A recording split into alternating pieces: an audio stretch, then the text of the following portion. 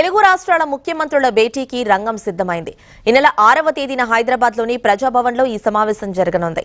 AP Chandrababu దీనిపై స్వయంగా Telangana CM Revanth రెడ్డికి లేఖ రాశారు.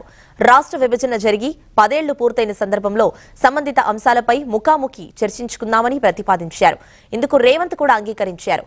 దీనిపై ఇవాళ లిఖితపూర్వకంగా తన స్పందన తెలియజేయనున్నారు. రెండు తెలుగు రాష్ట్రాల మధ్య అపరిష్కృతంగా ఉన్న సమస్యల పరిష్కారం కోసం అధికారికంగా ఈ సమావేశాన్ని నిర్వహిస్తున్నారు. ఈ సమావేశానికి ముఖ్యమంత్రితో పాటు రెండు రాష్ట్రాల నుంచి ఇద్దరు చొప్పున సీనియర్ మంత్రులు సంబంధిత అంశాలకు సంబంధించిన సీనియర్ అధికారులు కూడా హాజరవుతారు.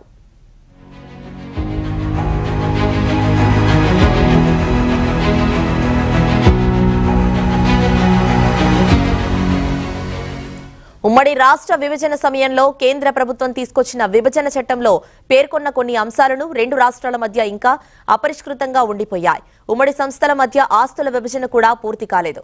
ఈ నేపథ్యంలోనే రేవంత్తో భేటీకి చంద్రబాబు సిద్ధమయ్యారు. నేనే మీ వద్దకు వస్తాను అంటూ బేషజాలకు పక్కన పెట్టి మరీ లేఖ రాశారు. ఈ భేటీకి ముందు చంద్రబాబు రెండు రోజుల పాటు ఢిల్లీలో పర్యటించనున్నారు. ఆ సమయంలో ఈ అపరిష్కృత సమస్యల గురించి కేంద్ర ప్రభుత్వం దృష్టికి కూడా తీసుకురానున్నారు.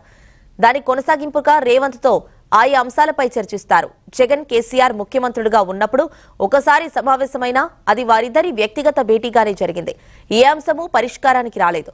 ఈసారి ఇటు చంద్రబాబు అటు రేవంత్ ఇద్దరూ సానుకూల దృక్పథంతో ఉండడంతో విభజన అంశాల పరిష్కారంలో ముందడుగు పడే అవకాశం ఉందంటున్నారు.